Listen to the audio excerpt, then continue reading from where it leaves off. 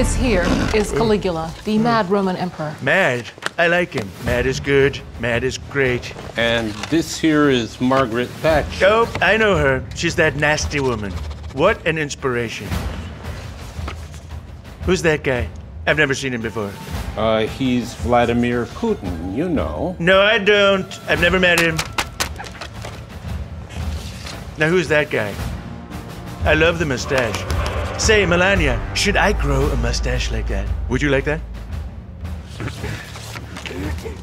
And they're all in this film? All of the great guys of history? What a huge crowd.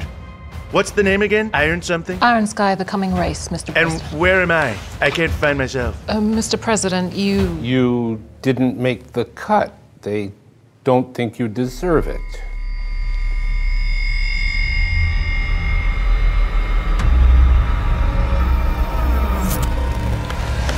Everyone who thinks I shouldn't be in this film, outside the room.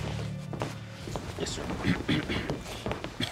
What do you mean I'm not in the movie? I'm just as crazy as that guy and just as nasty as that woman. And I have a much better haircut than this guy. So good. Best hair, actually. Nobody belongs more in this movie than I do.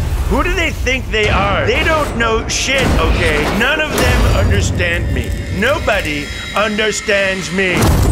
and let's make Earth great again.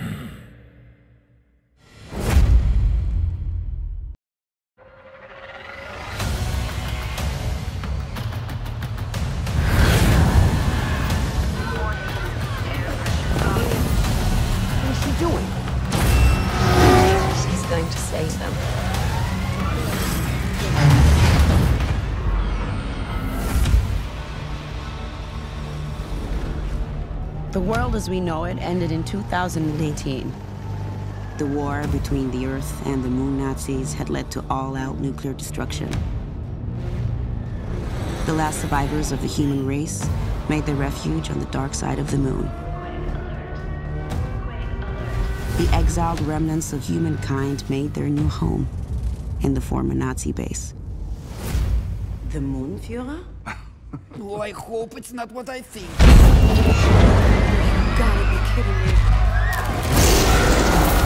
both know the truth. The moon is not going to be here for long. We are going to head to the center of the Earth, which is apparently hollow, and hopefully find the one thing that can save my mom and basically the whole of mankind. Okay, cool. Can I go? Main engines running at full capacity. Coffee machine is online.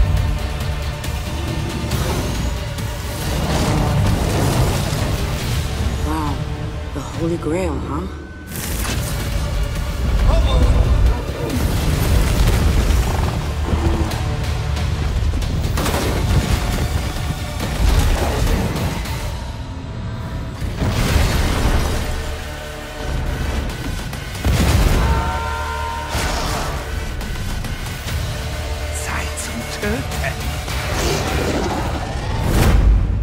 What was that? I don't know.